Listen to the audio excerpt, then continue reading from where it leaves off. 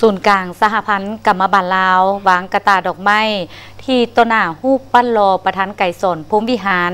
เนื่องในโอกาสวันสั่งตั้งสหพันธ์กรรมบาลลาวครบรอบ68 ปีตอนเศร้ามื้อนี้หนึ่งกุมภาพันธ์2024คณะบริหารงานศูนย์กลางสหพันธ์กรรมบาลลาว น้ำโดยทานเลด สยพร ประธานคณะบริหารงานศูนย์กลางสหพันธ์กรรมบาลลาว พร้อมด้วยต่างหน้าจากบรรดาสหพันธ์กรรมบาลกระทรวง องค์การและนครหลวงเวียงจันทน์ได้วางกระตาดอกไม้อยู่ต่อหน้าฮูปปั้นรอประธานไก่สนพรมวิหาร ที่พิพิธภัณฑ์ไก่สนพรมวิหารนครหลวงเวียงจันทน์เนื่องในโอกาสวันสั่งตั้งองค์การจะตั้งกรรมบาลลาวครบรอบ 68 ปี คือ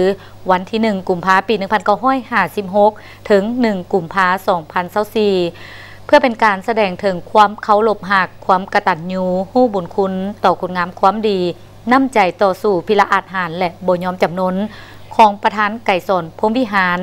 ก็คือบรรพบุรุษ บรรดานักหบปฏิบัติ และบรรดาสมาชิกกรรมบาลลาว ที่ได้เสียสละชีวิต เลือดเนื้อเพื่อภารกิจปฏิบัติอย่างองอาจกล้าหาญภายใต้การนำพาซี่นำที่สลาดทรงใส่และปีศาสามารถ ของภาคประชาชนปฏิบัติลาว